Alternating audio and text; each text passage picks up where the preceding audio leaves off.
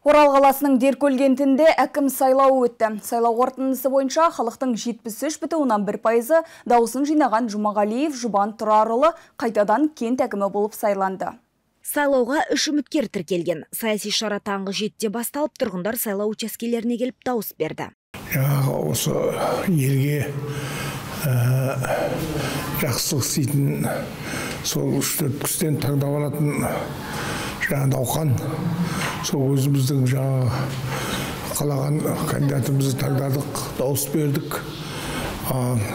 Соған сол жеңген адамға осы елімізді ауылымызды жақсы болсын деп жақсы басқарсын деп айтамыз. Үміткерлер ішінде Нұрлан Бағисқалиев, Жұбан Жұмағалиев және Түрехан Нұғыманов болды. Жалпы кентте 15118 сайлаушы бар. Деркөл кентінің әкіміне үміткерлерге дауыс беру 2 маусым кешкі сағат 20.00-ге дейін жалғасты. Қазіргі таңда сайлауымыз өтіп жатыр. Халық келіп жатыр. Бәрі қарқынды жүріп жатыр.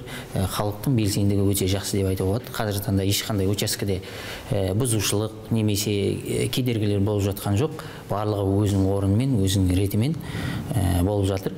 Орталық сайлау комиссиясы шараның бір қалыпты өткен ешқандай құқық бұзушылық болмағанын хабарлады. Деркөлде жеті сайлау учаскесі жұмыс жасады. Айнұр төлеуғалиқызы марлен искалиев марсель шахиев тдк қыркүйек телеарнасы.